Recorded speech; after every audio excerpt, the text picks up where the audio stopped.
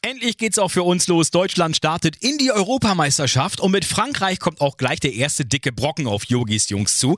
Welche Gefahren lauern beim Spiel? Worauf muss man aufpassen? Das weiß Mr. Vorsicht persönlich und darum heißt es jetzt, mach mal lauter, Bach. Zum Pokal mit Karl. Ja, also hallo Delta Radio. Also Frankreich ist ja nicht umsonst für Deutschland also schon immer Hochrisikoland gewesen. Gerade also die französische Variante also Fußball zu spielen, ist dann natürlich brandgefährlich. Das könnte dann vor allem also in der zweiten, also Halbzeit eine heftige dritte und vierte Angriffswelle auf uns zukommen. Ich würde auf jeden Fall also die strenge Einhaltung der AHA-Regel empfehlen, also angreifen, hoffen, abschließen.